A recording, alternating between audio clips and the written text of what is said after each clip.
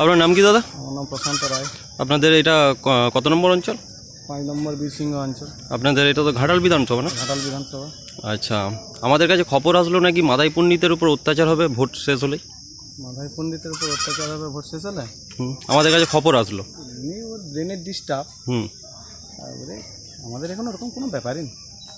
ব্যাপারই নেই। এর মনে হয় কি হয় আপনি তো এসেছেন কীরকম পরিবেশ সুন্দর দেখছেন পরিবেশ তো সুন্দর দেখছি এবং ঘাটাল আমার কাছে যতটুকু রিপোর্ট আছে ঘাটাল বিধানসভাতে যতগুলো বুথে ভোট হচ্ছে হ্যাঁ। কোথাও কিছু গন্ডগোল নেই। একমাত্র শুধু হয়েছে বলতে আপনাদের ওই বর্দার ভিতর দিয়ে ওই অঞ্চলটার নাম ওখানটা একটা গন্ডগোল হচ্ছে।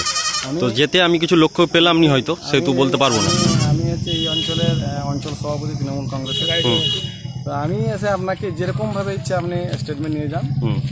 যে কোনো রকম যদি ওর কোথাও কিছু হয় আমাদের এত সুন্দর দিদির পা দলের যে নীতি আমরা গণতন্ত্র ফিরে পেয়েছি বাক স্বাধীনতা ফিরে পেয়েছি এই বুথে কোনোদিন আমাদেরকে রাম এজেন্ট দিতে দেওয়া হয়নি বামফ্রন্টের সময়।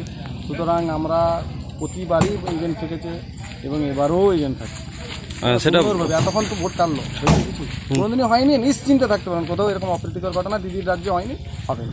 ঠিক আছে থ্যাংক ইউ ওরা আগ বাড়িয়ে যদি অনেক কিছু করতে চাচ্ছে বলছে মিথ্যে কথা এটা রটনা ছাড়া আর কিছু না। কিন্তু আমাদের কাছে যেটুকু খবর আসলো এইটুকুই আমরা এর জন্য আসলাম আর কি। নিশ্চিন্তে কোনো অত্যাচার হবে না। কোনো না নিশ্চিন্তে থাকতে পারে না। এটা ওর ব্রেনের এমনি গন্ডগোল ব্রেন ডিপে না ব্রেন গন্ডগোল হলে তো বিজেপিও দিত না তাকে। হ্যাঁ ব্রেন গন্ডগোল ব্রেন ডিপে তো এরকম কথা অনেক কিছু বলে না। চিটিংবাজ প্রচুর। বহু টাকা পয়সা তাকে বহু মেরেছে। তেল কোম্পানি কাজ করতে মেরেছে লোকের পুকুর চাষ করতো তার টাকা না এটা যে আমি কমপ্লেন করছি ওর কিছু প্রমাণ আছে? বিধায়িত মানুষের উপর আমরা করতে পারি না এটা। দোষারোপ করতে পারি না।